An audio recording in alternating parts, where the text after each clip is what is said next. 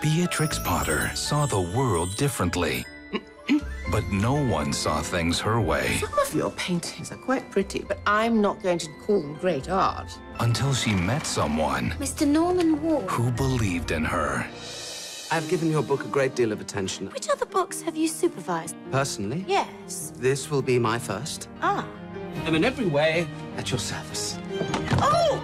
I wish you wouldn't invite tradespeople into the house. They carry dust. Now, the magic she wanted to share Norman allowed us a peek at Peter Rabbit, Miss Potter. We found it utterly charming. I have decided that you and I are going to be friends. Have you? will lead to possibilities We do make rather a good team, don't you think? beyond her wildest creations. Your book has been very important in my life. You have been very important in my life. And you and mine, Mr. Warne. And we must do it again and again.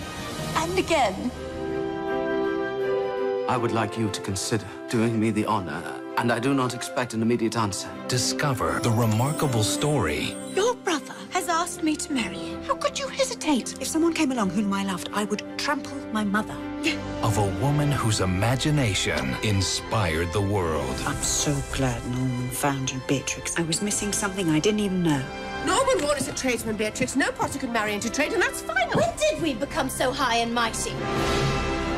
You cannot make us the villains, Beatrix. Your mother trotted out countless suitors. I didn't want to be marrying a man simply because he was rich enough to take care of me. Academy Award winner Renee Zellweger, Ewan McGregor, Academy Award nominee Emily Watson. I don't understand you, Beatrix. Our daughter is famous, Helen. You're the only person who doesn't know it.